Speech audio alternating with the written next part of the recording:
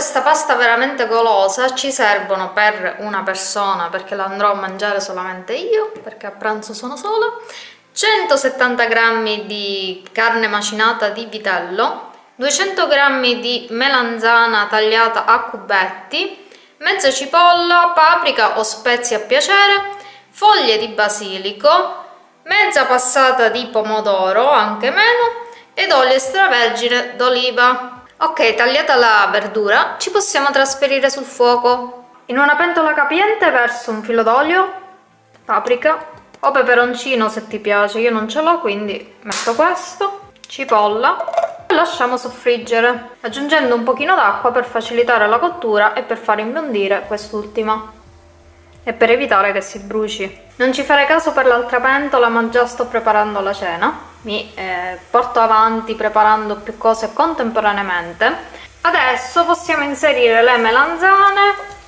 e il basilico.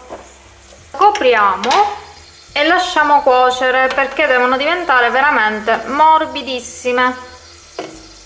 A questo punto aggiungiamo la carne di vitello. Questo è un piatto ricco e completo perfetto anche per chi è a dieta perché contiene sia la carne che di vitello quindi magra e leggera che le verdure che i carboidrati.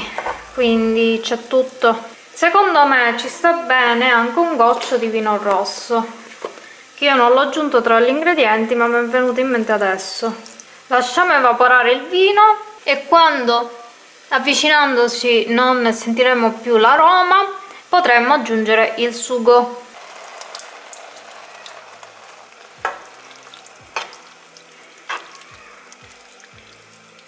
Un cucchiaino di zucchero per togliere l'acidità e proseguiamo la cottura per qualche minuto. Dopodiché il nostro condimento per la pasta sarà pronto. È ora di buttare la pasta. Mi raccomando scolala al dente perché andrà unita al condimento e otterrai una super pastona. Mamma mia che fame c'è un profumo. Eh, buon appetito